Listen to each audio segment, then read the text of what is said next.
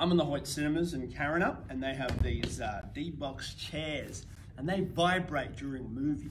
I'm going to see how I go reacting to some of these clips. Oh, let's just turn this up to the maximum, shall we?